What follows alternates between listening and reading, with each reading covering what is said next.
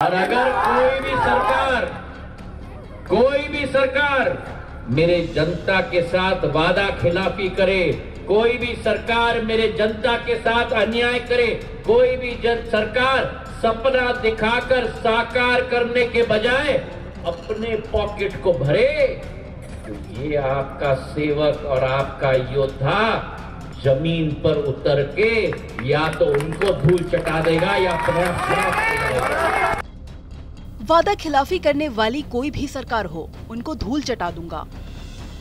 जब भी जनता के साथ छल कपट हुआ तो मेरा परिवार हमेशा से ही जनता के साथ खड़ा रहा। मेरी आजी विजय राज्य सिंधिया ने डीपी मिश्रा को भी धूल चटाई थी। उनका पोता आप लोगों के सामने खड़ा है, और जब भी कोई आपके साथ छल करेगा तो आपका ढाल और तलवार ज्योतिरादित्य सिंधिया बनेगा। ये जो वाक्य आप सुन रहे हैं, ये किसी और का नहीं, बल्कि केंद्रीय मंत्री ज्योतिरादित्य सिंधिया का है। मध्य प्रदेश के शिवपुरी में विकास यात्रा के दौरान केंद्रीय मंत्री ज्योतिरादित्य सिंधिया ने एक बार फिर कांग्रेस पर जमकर निशाना साधा और अपनी आम सभा के दौरान उन्होंने कहा कि जो भी सरकार वादा खिलाफी करेगी तो आपका ये जनसेवक उसको धूल चटा देगा।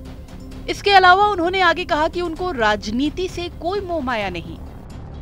सिंधिया परिवार ने हमेशा जनसेवा की है और जनसेवा के लिए हमेशा तत्पर रहा है। अभिलाषा थी, कुछ नया होगा। कुछ अच्छा होगा। पर क्या हुआ? वल्लभ भवन को भ्रष्टाचार का अड्डा बना दिया उन लोगों ने। रेत माफिया और खदान माफिया पूरे प्रदेश में लागू कर दिया। और रोज गिनती होती थी खाते में पैसे की। मैं उस परिवार का वंशज हूँ, जिस आजी अम्मा ने जब डीपी मिश्रा ने ललकारा था तो डीपी मिश्रा की सरकार को धूल चटा दी अपनी जगह बना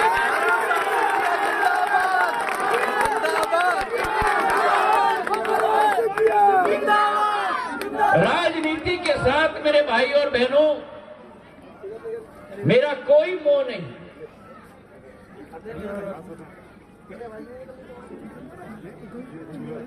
सिंधिया परिवार अगर आगे आता है,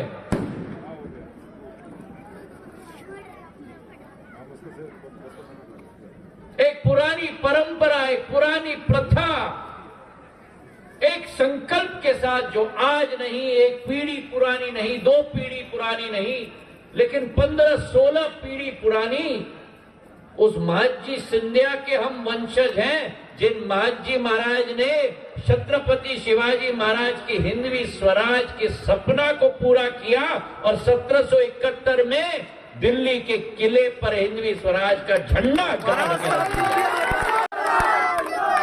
हाँ मैंने बीजेपी की सरकार बनाने में अपना जी जान लगा क्योंकि जिस सरकार को हमने बनाई थी, जिस आशा के साथ, जिस अभिलाषा के साथ, अगर 18 महीने में अपना रंग बता दिया, जो कहा था मन से,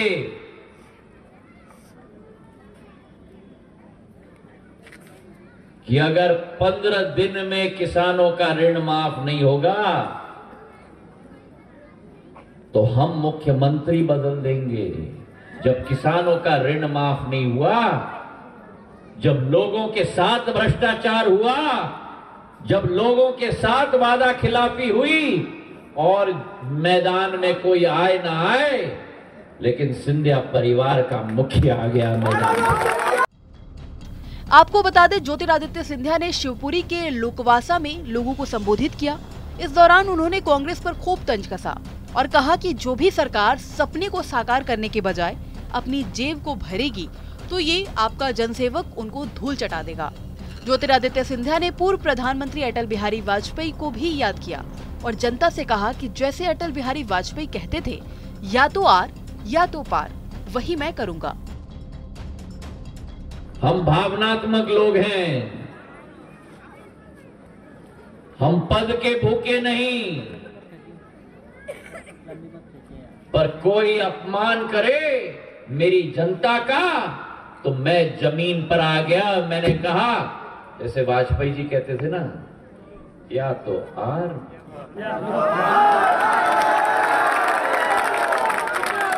बोलो मेरे साथ, या तो आर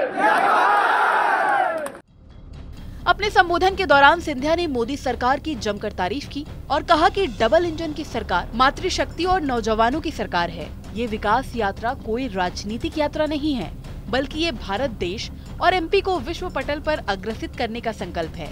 साथ ही साथ कहा कि सिंधिया परिवार जनसेवा की संकल्प खाई है, राजनीति बस एक माध्यम है।